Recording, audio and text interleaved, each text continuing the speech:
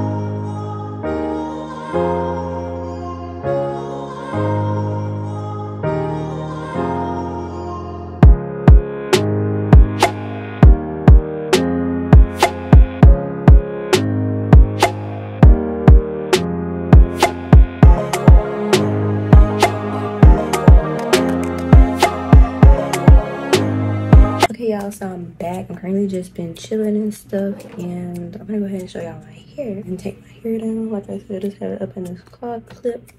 Can't even see my claw clip.